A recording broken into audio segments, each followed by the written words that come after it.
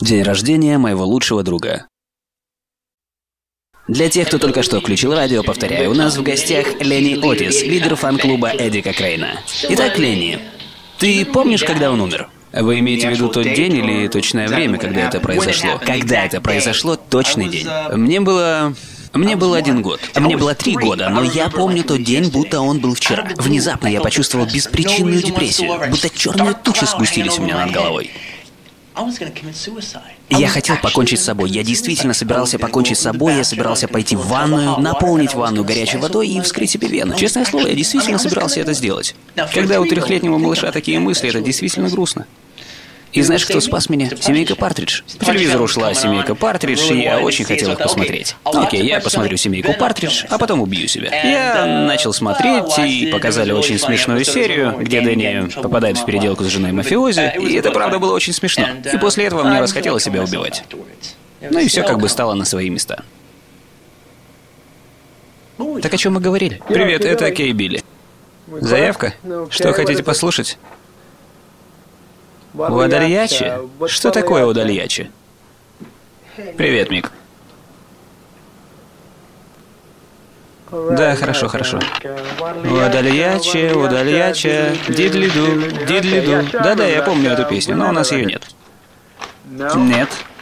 А, попробуйте позвонить Кейскауту. Нет, телеграфа у нас тоже нет. Нет. А, может ли а, тебе прийти в голову мысль, что ты пришел слишком рано? Да я тут был рядом и подумал, не зайти ли.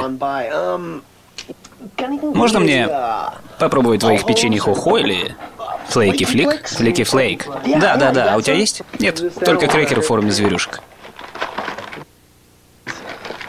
Только горел не ешь. Слушай, я тут покемарю в холле пару часов. Можешь меня разбудить, когда Кларенс закончит? Ты дерьмово выглядишь. Да, я поносно себя чувствую. Как будто у меня в животе толпа маленьких человечков. С пиками на перевес орет. Ай-яй-яй-яй-яй-яй! Да что ты делал прошлой ночью? Я был с Джерри. Знаешь Джерри? А, Джерри, брат Гарри. Это бред, но все равно мы напробовались одной фигни. Она, она такая сильная, что индейцы в Бразилии придумали целую религию в честь этой штуки. Да, это Кей Билли. А, бабуля, как дела? Хоть жвачки? Да, у него все хорошо, да. Ага. Как дедушка? Ага. Так что это за церковь? Что это за дерьмо? Чуть тебе не нравится чесночная жвачка? Да ты самый тупой кретин. Вчера мы с Джерри офигенно накурились и в полном невминозе пошли в магазин новинок. Ты когда-нибудь в невминозе ходил в магазин новинок? Вот это опыт, доложу я тебе. Мы на 150 долларов этой штуки взяли, ты понял? А, черт. Я тут для Кларенса взял порошка от чесотки. Гребаное дебильное дерьмо. Ну, Кларенс ты точно его оценит. Да ты самый тупой придурок, которого я встречал в своей гребаной жизни. Я взял Кларенсу порошка от чесотки. Там был белый и был коричневый. Я ему взял белого, потому что там сказали, что он какой-то промышленный собственной мощности. Да ты мерзкий ублюдок. Положи чуть-чуть на обратную сторону ладони и проберет так, что надо сразу смывать. Черт бы побрал тебя с твоим дерьмом, господи! Это твое дерьмо. Ты хрен собачий. Мик, там бабушка. Черт. Бабуль, прости, меня тут отвлекли. Так ты э, говорила об образовательной программе для молодежи? Это горилла. И вот, 20 лет спустя, я узнаю, что тот самый день, когда меня накрыла беспричинная депрессия, оказался тем самым днем, когда величайший рок-н-ролльщик всех времен купил себе ферму. Черт меня побери, я просто не мог в это поверить. И это, это, это черт знает что. Но знаешь, в каком-то смысле в этом есть определенная симметрия. В каком-то небольшом смысле. Так какое слово я не могу вспомнить? Оно значит последователи того, что ты делаешь. Понимаешь, что я хочу сказать? Члены? Да, конечно, члены. Сколько у вас членов? В Калифорнии около 600. Это много? Вообще-то это очень много. И вы, наверное, устраиваете собрания каждый год, как клуб Мотель 6 или Самбас, или... Да, иногда вместе что-то делаем. Ну, отлично, отлично. Итак, мы здесь вместе с э, Ленни Отисом, лидером фан-клуба Эдика Крейна. Мы снова с вами через несколько секунд. Не переключайтесь. Ну что, все идет неплохо. Комси, комса. Что у тебя в этой коробке? Представляете, 29 марта 1959 года Эдди Кокрейн вытирал рот этой самой салфеткой. Вот это интересно. Тебе нужно побольше рассказывать о подобных вещах. Я уверен, это твоя коробка, это просто рок изобилия подобных вещей. Просто начинай выносить их на свет. Это же радио, это не телевидение, ты же понимаешь. Они должны об этом услышать. Шоу Кларенса Пула? Нет, извините, мы не исполняем заявки. Потому что пока я диджей, я играю, что я хочу и когда я хочу. Когда-нибудь, когда ты будешь диджеем, ты будешь играть то, что ты захочешь. Ну, если твой вкус будет в такой же цене, как мой, будешь. Да мне похер. Послушай, мне похер, что непослушная Джули играет в своем шоу. Да мне все равно. Да и слушай тогда свою непослушную Джули, хрен моржовый. Да имел я твою маму. Козел. Какого хрена ты тут делаешь? Да я тусуюсь, жду, пока ты закончишь. Это... Познакомьтесь. Пацан, как тебя зовут? Я Лэнни Отис, глава южно-калифорнийского э, фан-клуба Эдди Кокрейна. А, Отис, как этот городской пьяница в шоу Эдди Гриффита. Ха, я тоже об этом подумал. Клэренс, у меня есть кое-что для тебя. Мама родная. Себе зацепил вчера, и тебе тоже. Я знаю, у тебя не пропадет. Мы с Джерри. Знаешь, Джерри, мы, короче, вчера так нафигачились. Пошли в магазин. Мик? Да, он здесь, подожди.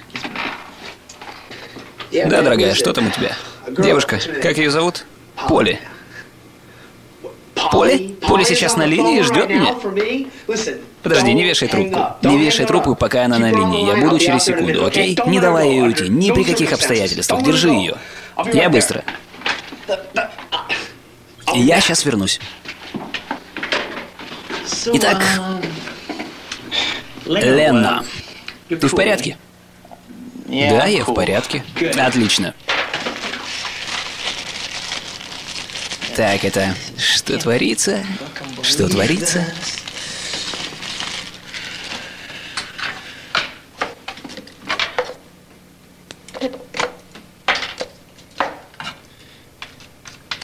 Итак, Ленни, не хочешь ли ты этой шедевральной штуки? А, нет, нет, спасибо. А, ну круто, молодец. Кто бы меня остановил? Господи Иисусе. А, мне на носу ничего нет? А вот тут. Так, нормально? Все круто? Окей. Это Кей Билли, и мы снова в эфире. Мы в студии с лидером фан-клуба Эдди Кокрейна Ленни Отисом. Ленни, как ты увлекся Эдди? Ну, вообще-то мой отец очень увлекался Эдди Кокрейном. У него было много его альбомов, он постоянно их слушал. Я не могу поверить, что ты о нем говоришь. Ты же знаешь, что я его ненавижу. Мне тоже обидно. Да я их обоих ненавижу. Он постоянно ставил его пластинки, и то время в моей жизни почему-то мне очень нужно было слышать эти звуки. Они стали частью моей жизни, и эта музыка спасала меня в сложные моменты. Слушай, не передашь мне вон ту салфетку? Да, конечно. А, спасибо. И всегда, когда мне грустно и одиноко, я просто включаю эту песню и знаю, все будет хорошо. Однажды, когда я был ужасно расстроен, я не могу поверить, что ты об этом говоришь. Я всегда плохо к нему относился. Слушай, слушай. Раз уж мы здесь травим свои души и составляем список людей, которых ненавидим, может быть, и тебя туда добавим, а? Да ты урод! Я горю в аду. Что с вами? Вы в порядке? Вызывай 911. Что случилось? Он только что чихнул тем кокаином, который вы ему дали.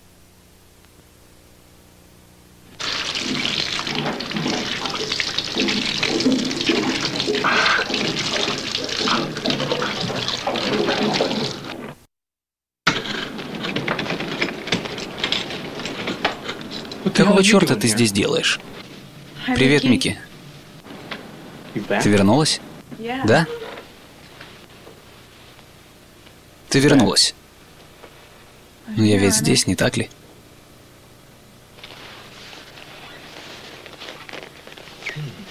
Я так рад. Сколько времени прошло? С каких пор? С тех пор, как мы виделись? Ну, последний раз. Давай посчитаем. Январь, февраль. Два месяца. А мне кажется, намного дольше. Кстати, все эти звонки тебе последний месяц. Это я звонил, а когда ты снимала трубку, я вешал ее. Это был я. Мне просто нужно было услышать твой голос. Ну что, как жизнь? Ну, я была... Я так счастлив видеть тебя снова. Я счастлив. Я без тебя был как в аду. Ты знаешь, мы с тобой ссоримся по глупейшим пустякам, но больше этого не будет. Теперь, когда ты снова со мной, я никуда тебя не отпущу. Я обещаю тебе, крошка. Микки, ты такой милый. И таким я теперь буду всегда. Навеки вечные. Навсегда. Слушай, как сердце бьется. Чувствуешь? Быстро. Ага. Дай мне твое послушать. Так я и думал. Прям как мое. Миля в минуту. Это любовь.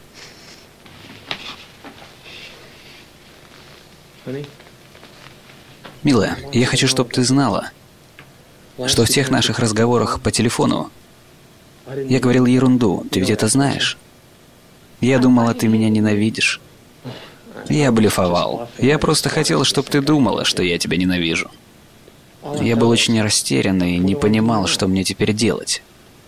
Я злился на тебя. Я слушал тебя и впадал в отчаяние. Но я никогда не перестану любить тебя. Я немного удивлена. Раньше ты никогда не был таким милым. В конце концов, это будет счастливый день рождения. Так ты поэтому зашла? Ты вспомнила о моем дне рождения. Расскажи все сама, и я обещаю, что не буду перебивать. Вчера мы болтали с Иоганной Ваксман, помнишь ее? И я вспомнила одну ужасно грустную песню Рода Стюарта. Мы стали искать ее в моих пластинках, но не смогли найти. А потом я вспомнила, что она не на пластинке, а на кассете. А я все кассеты оставила здесь, поэтому зашла забрать ее. И нашла. Видишь? Так ты поэтому пришла? И догадайся, что еще. Когда я рылась в своих записях, я нашла один из твоих альбомов Элвиса Пресли. Я ведь знаю, что ты без него жить не можешь. Я его принесла. О боже, здесь так пусто без моих вещей. Надо было хотя бы цветы тебе оставить. А это что? Это вода у тебя в туалете. Я тут сырную бомбочку сбросил. На вашем месте я бы туда еще часок не заглядывал. Оливер, дорогой, иди сюда. Оливер, познакомься с моим старинным другом Микки. Микки — это мой новейший друг Оливер Брэндон. Здорово, чувак. Как вы вообще сюда попали? Ведь ты отдала мне свой ключ. Оли нам помог. Я надеюсь, ты не против, чувак? Ну ты в курсе, старый добрый трюк с кредиткой в дверном замке. Надо было достать малышки ее любимого рода Стюарта.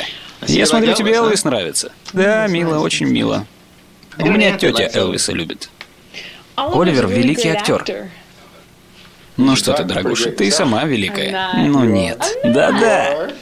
Ты лучше. Нет, ты. Ты. Да нет, не я. Ты. Не верь ни одному его слову. Он просто великолепен.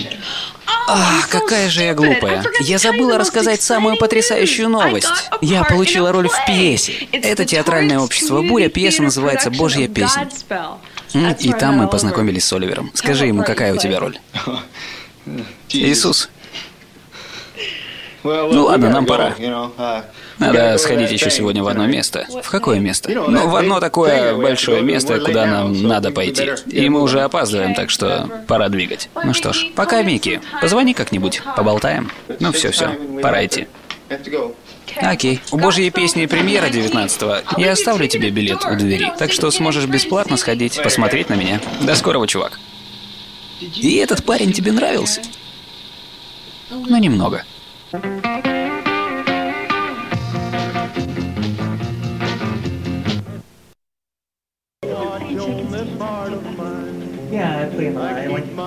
Ты знаешь Джеймса? Конечно, я его обожаю. Вот это да, я впечатлен. Это просто отлично. Ты знаешь, я думал, я тут единственный, у кого есть хоть какой-то музыкальный вкус или что-то в этом роде. Кроме Мики, конечно, у него тоже очень хороший вкус. А теперь есть ты. Знаешь что? Ты неплохо играешь в бильярд. Любишь хорошую музыку. И у тебя классное имя. Не хочешь сходить на вечеринку? Конечно. Хочешь? Конечно. Да это просто фантастика. Так вот, у меня есть лучший друг, и у него сегодня день рождения. И если это возможно, я бы хотел вас познакомить. Понимаешь, он лучший парень в мире. И я знакомлю его только с теми, кто такой же классный, как и ты. Как ты к этому относишься? Почему бы и нет? Это здорово! Боже, это просто здорово! Это просто фантастика. Итак, у тебя есть ручка, чтобы... У меня есть губная помада, можем ей попробовать. Да, отлично. Ладно, пишу прямо здесь. Что ты пишешь? Его адрес. Сейчас. Ты просто придешь и немного развлечешь его, хорошо? Проведи с ним время повеселее. Окей. Договорились? А как я туда попаду? А, я дам тебе ключ. У тебя есть ключ? Ну да, мы же лучшие друзья. А когда вы закончите, веди его ко мне домой. Хорошо? Он знает, где это. Я организовал небольшую вечеринку. Там буду я, ты, он и моя девушка. Мы отлично повеселимся, идет? Идет. Это гениально. О цене сейчас договоримся или потом? Что-что? О цене. Ну, о моей цене. А, о твоей цене? О цене, о цене. Я и не подумал как-то. Ну, конечно. Сколько? Сколько платишь? А, с, а сколько ты обычно берешь? А сколько ты обычно платишь? Обычно, по обычному тарифу, вот сколько я обычно плачу. По обычному тарифу. Ну что ж, я не шлюха, я девушка по вызову, а, а девушки по вызову будут уровнем повыше. Так я и знал, когда я сюда пришел, я так и подумал, что ты девушка по вызову. Ну, в смысле, что ты явно не шлюха, а я бы никогда не стал приглашать шлюху к Микки, потому что он лучше, а ты правда классная, правда? Да, да, ты говоришь с честным человеком, без враг. Как насчет 40, 50 долларов, 30. 40, 40. Окей, я согласна на 40. Согласна на 40? Окей, я плачу 40. Так, где деньги? Скажи ему, чтобы взял трубку. Я не выношу этого козла и не могу с этим парнем сладить. Тебе обязательно говорить козел, когда здесь покупатель? А что, из твоего рта это слово звучит лучше? Если говорит мужчина, это звучит нормально. Не прав, ты ведь раньше слышал это слово, правда, Клэренс? Если ты не заметил, сейчас так покупатели уже не обслуживают. Эй, эй, эй, слушай, поцелуй меня в задницу и отвали. Я слышал однажды, что семейная жизнь начинается там, где кончается любовь. Нет, нет, все не так, не так. Скажи ему, милая, мы с тобой еще ого-го, да? Да, конечно. Да, люблю. Люблю ее. Я хочу самый офигенный торт из всех, что у тебя тут есть. Да у меня все торты офигенные, слушай. Вот этот хочу. Какой этот? Вот этот вот с сахарной глазурью. И с маленькими штучками. Это для Мики. Для Мики только все самое лучшее, поэтому я хочу этот. Бери этот. Он очень вкусный. У меня три трешки. Три чего? Три трешки. Три трешки. А надпись на торте сделаешь? Да, да, напишу, Клэренс, только дай мне шанс. У меня есть большая коробка, только коробка. Да мне только до дома донести, я ему подарю торт не в коробке. Со свечами, все такое. Ты знаешь, я тут думал кое о чем. И это что-то меня очень беспокоило. То есть я не то, что не спорю с тобой. Конечно, как певец Элвис, ну вот как артист со своими альбомами, записями. Тут ему никто ничего придавить не мог. Я согласен. Точно? Правильно? Да, да. Правильно, нет проблем. Да в этом у нас нет проблем. Но актер Клэренс, он никакой. Вот здесь наши мнения расходятся, и мы никогда не договоримся по этому пункту. Извини, спорить здесь не о чем. Мы тут никогда не придем к согласию. Вот Марлон Брандо — великий актер. «Графиня из Гонконга» — это дерьмовый фильм. Никогда у него не было дерьмовых фильмов, Кларенс. Да «Графиня из Гонконга» сосет. Марлон Брандо — великий актер, Клэренс. Фильмы — дерьмо, фильмы — дерьмо. Ты меня вообще понимаешь? Ты хотя бы дикаря смотрел? Привет, Микки. Я Мисти Найт. Я твой сюрприз на день рождения. С днем рождения тебя. С днем рождения тебя. С днем рождения, дорогой Микки. С днем рождения тебя. Я тебя подожду в комнате, и когда ты тут закончишь, приходи ко мне, и начнем вечеринку, окей? О, и наряжаться не стоит, тебе и так неплохо. Джейлхаус Рок, он вложил весь смысл рокобили. Да он и есть рокобили. Грубый, злой. Да плевал он на все, кроме рок-н-ролла. Живи быстро, умри молодым, ложись в гроб красивым трупом. Я обожаю сцену, когда после того, как он стал знаменитым, он закатывает большую коктейльную вечеринку, и приходят все эти снобы, а он поет «Крошка, ты скучная дура, ты мне безразлична». Его заставили носить эти дурацкие штаны, свитер с горлом, и даже, по-моему, мокасины ради всего святого. Но все это не имеет значения. Все эти снобы на вечеринке, огромный дом, дурацкая одежда, и все равно он тот же грубиян и негодяй. Я так бы хотел быть похожим на него. Элвис отлично выглядел. Я не педик, но Элвис был красавчиком. Я всегда говорил, если бы мне пришлось трахнуть парня, ну, в смысле, если бы от этого зависела моя жизнь, я бы трахнул Элвиса. Да, я тебя понимаю. Я бы, конечно, не сказал, что готов его трахнуть, но...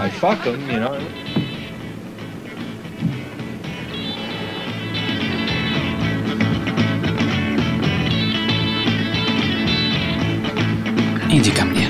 Дай мне любить тебя. Я дам тебе все. Нет, это ерунда.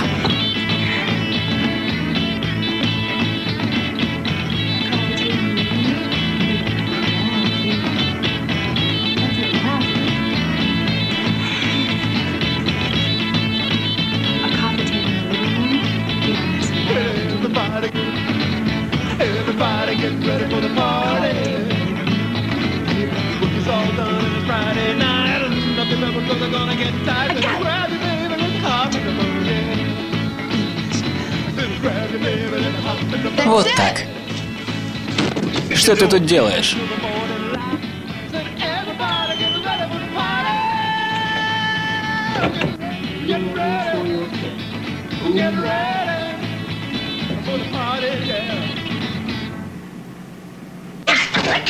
Ты что, сучка, мне устроила там в автобусе? Я дико злой. Клиффорд, моя голова. У меня на стене висела его фотография, а я ему говорил, «Эй, Бигги!» Я звал его Бигги. Да, он звал его Бигги. Я бывало говорил, «Эй, Бигги, я люблю тебя, давай, ты можешь сделать это!» Я тебя услышал. И все равно, все равно, я должен отдать должное Битлз. Они выпустили Сержанта Пеппера. Как он назывался? Сержант Пеппер? Клуб одиноких сердец Сержанта Пеппера. А что делает Элвис? Что делает король? Он выпускает саундтрек «Случай на ярмарке». Ну что это такое? Случай на всемирной ярмарке. Что на торте написать, Кларенс, а? Это очень печально, понимаешь? Понимаешь, когда думаешь, что на это ответить, ничего придумать не можешь. Прапорщик Паркер окружил парня. Прапорщик Паркер, он придурок. Вот если бы поклонники могли говорить Элвису, что ему делать, как ты и я. Да, после службы в армии он никогда уже не стал прежним. Так что на этом чертовом торте писать? Что происходит? Окей, дружба. Слышь меня? Он хочет раньше уйти. Он позже пришел, а теперь хочет раньше уйти. Куда идешь? В колледж? Ты здесь, потому что ты не учишься в колледже. Вот что я тебе скажу. Никогда не женись, никогда не разводись. И никогда не заводи сыновей. Особенно павианов. Он совсем с катушек съехал, у него к члену телефон приделал. Дружба. Дружба будет всегда любовью между мной и Ники. Джерри, не ругайся с Рокси. Делай то, что она тебе говорит. Так, да, давай, я слушаю. Дружба всегда будет любовью между Микки и мной. Радость знать всегда, что наша любовь все растет, ибо наша любовь — это знак. Стой, стой, стой, стой, стой, подожди. Стой, форвард. Это все не поместится на торте, ты что? Посмотри. Почему нет? Да ты посмотри, какого он размера. Это все тот же торт, согласен? Это все не поместится. Что из того, что я сказал, поместится на торте? Ну, например, с днем рождения Микки. Слезь с моей спины. Черт возьми, слезай. Знаешь, ты права. Я действительно мог бы... Ты. Твоя задница — трава, а я — газонокосилка. Вы сами себя слышите? Доктор, я не могу больше так жить. Я не могу выбрать между одним и другим. Это разрывает меня на части. Везде, где есть вход, есть выход. Это относится и к вашей ситуации. Но почему я не могу остановиться На середине. Говорит оператор, срочный вызов. Сесилию Вен вызывает Альда Рэй. Альда Рэй? Сесилия, вы ведь знаете Альда Рэя? Я не знаю никакого Альда Рэя. Доктор, я вам перезвоню. Алло? Hello, baby. Клэренс. Да? А ты кого ждала? Альда Рэя? Послушай, Сесиль, я позвонил тебе, потому что у меня сегодня вечеринка. Приходи сюда, ко мне. Это в честь моего лучшего друга Мики, у него день рождения. Но он еще об этом не знает. Клэренс, будешь ты, я, он и его подружка. Клэренс, послушай, с которой он еще не знаком. Он еще не в курсе. Но он будет, не волнуйся. Но Клэренс... Нет, нет, нет. Просто надень, что найдешь. Главное, чтобы выглядело прилично.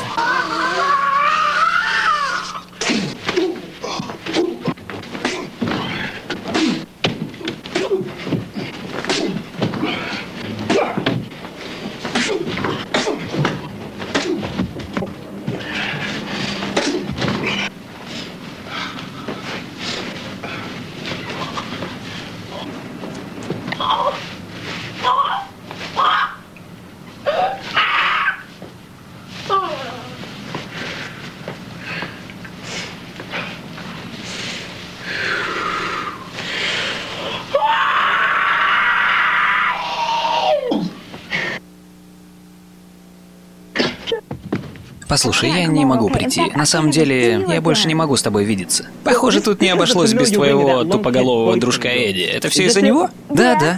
Это из-за Эдди. Он за мной шпионит, он знает, что мы виделись. И что? Ты не знаешь Эдди. Он очень сильный. И очень злой. И очень ревнивый. Стоять, сыкон! Я в бешенстве, поняла? Послушай, хватит тут песни петь. Он только что открыл ящик Пандоры, и он об этом горько пожалеет. Потому что он меня бесит, а когда я взбешен, берегись.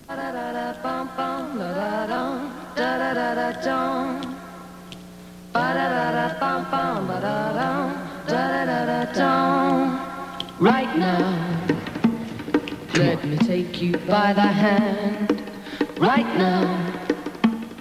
Put your lips at my command right now. Fly me off to lover's land. Baby, baby, don't leave me at the phone. Давай. Coast to coast. Right now. Baby, Hello, baby! Вы дозвонились самому крутому хилбельщику Кларенсу Пулу. А меня здесь нет. Оставьте свой номер после звука гитары. И как только я закончу упражняться со своим фрисби, я вам перезвоню. Пока!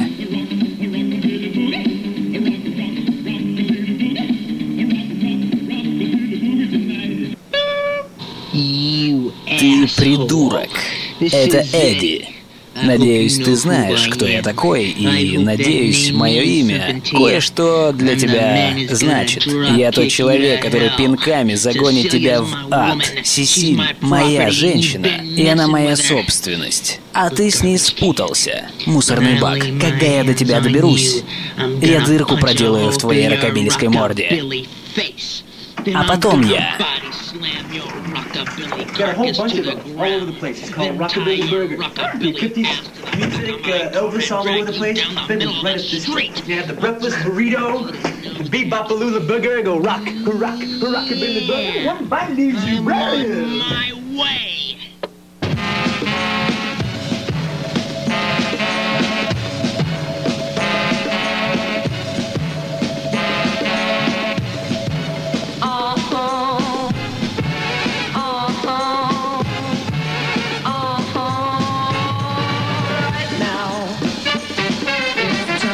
It's a place right now. Right now. For a ride to outer space right now. Right now.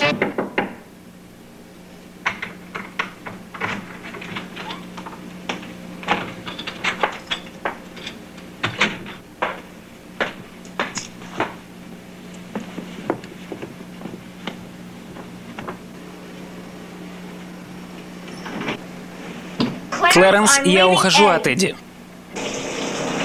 Теперь я сама принимаю решение. Я ему не принадлежала, я никому не принадлежу. Я сама решаю. Ты кто? Я кто? А ты кто? Ты... Ты и Клэрэнс не... не что? Ты не ходишь с Клэрэнсом по гей-барам, нет? Да нет, мы не ходим вместе по гей-барам. А где Клэрэнс? Ну, явно не здесь. Тихо, кто-то идет. Слушай, у тебя был шанс, я люблю тебя и все такое, но тебе придется подождать, пока я здесь не закончу. Я найду тебе кого-нибудь, обещаю. Да, пока-пока. До свидания. Итак, в нашем позднем шоу вы слушали Рокобили. Его не существует. Но поцелуй здесь длится 3 часа 20 минут. Я могу это сделать. Окей, начнем? Поехали. Что вам сделать? Где она? Кто? Девушка с задницей. А бывают девушки без задницы? Послушай, Питер. Моя подруга ходит в этот бар с одной рокобили задницей по имени Клэрэнс Пул. Я знаю это, потому что следил за этой сучкой здесь неделю назад. Где она? Она в квартире этой задницы. Где эта задница живет? Задница живет в квартирном доме Гарри на Иствуд Драйв. Some folks run, others hide. There ain't nothing they can do. And some folks put on armor, but the arrows go straight through. So you see, У квартиры есть номера. Квартира 44. Как давно ты стала девушкой по вызову? Кстати, ничего унизительного я в этом не нахожу. Если бы ты была подводным сварщиком, я бы спросил тебе, «Эй, и давно ты стала подводным сварщиком?» Я не знаю, догадался ты или нет, но я не то чтобы собаку на этом съела. Правда? Правда. Ну и все же, давно ты в эти игры играешь? Ну, сегодня моя первая ночь. Нет. Да. Я и раньше был под впечатлением, но, боже, первый день, ты была великолепна. Тебе не показалось, что я нервничаю или что-то в этом роде? Да нет, совсем нет. Ты прошла мой тест на профессионализм. Ты такой милый. Почему ты заинтересовалась проституцией как сферой для твоего карьерного роста? Я приехала сюда из Кливленда. А, понятно. Но это еще не все. А, извини. Последние три года, что я там жила, я работала в Кеймарте. Ты работала в Кеймарте? Да, я работала в Кеймарте. В каком отделе? В звукозаписи и кассетах. Везет тебе. Я тоже в Кеймарте работал. Я мечтал работать в звукозаписи и кассетах. Правда? Честное слово. Я пробовал пробиться в диски и кассеты, но застрял в женской обуви. Да уж. Мне всегда так жалко было этих парней из женской обуви. Эти женщины приходят и меряют по 50 пар. Заставляют парней приносить им, не знаю, по 50-60 пар, пока наконец не определятся. Да, но женские ножки мой фетиш, так что я с этим мирился. А еще я помню свой момент славы в Кеймарте. Я пытался подобрать размер одной женщине, и вдруг из вентиляционной решетки выпадает большущая жирная крыса и падает прямо ей на ляжки. О боже, я бы с ума сошла. Женщина орет, крыса начинает метаться, а я бегу за ней. Я преследую ее по всему магазину минут 15, и в конце концов забиваю ее до смерти шваброй. А, это классика. Ты знаешь, мне очень нравилось работать в звукозаписи и кассетах, но меня не покидало чувство, что я не реализую там себя. Понимаешь, что я имею в виду? Да, я понимаю. И вот однажды мы пошли в кино с парнем из автозапчастей. И я увидела фильм, который перевернул всю мою жизнь. Какой фильм? «Одет для убийства». Чудесный фильм, прекрасный фильм. Я обожаю этот фильм. Тебе он понравился? Я его полюбил. Брайан де Пальма — это злючий пламенный мотор. И я полюбила его. Я люблю его фильмы. Я люблю его. А ты помнишь в нем Нэнси Аллен? Да как я могу ее забыть? Ну что, была она бомба или нет? Давно пора принять закон, в котором Нэнси Аллен должна заниматься со мной сексом в любое время. Какую роль она играла в этом фильме? Девушки по вызову. Вот какую роль. Она была такая спокойная, собранная. Я увидела этот фильм, увидела эту роль, и тогда я сказала себе, Луиза, это работа для тебя. Луиза? Ну, то есть Мисти. Мисти, это работа для тебя. И я приехала сюда, чтобы оставить свой след. Но пока меня преследуют одни провалы. В чем же ты провалилась? Мой сутенер Клиффорд. Он хреновый сутенер. Он офигенно классный парень, но хреновый сутенер. Он не делал ничего, чтобы продвинуть мою карьеру. И я уволила его. И сегодня, когда я сама впервые вышла на работу, я все провалила. Платежеспособный клиент, и тут все пропало. Но в этом вряд ли есть твоя вина. Как я могу начинать собирать рекомендации от клиентов, когда люди, заплатившие за девочку для развлечений, в результате получают не развлечения, а мои проблемы? И поэтому я так расстроилась. Ты все еще расстроена? Нет. Почему? Не твое дело.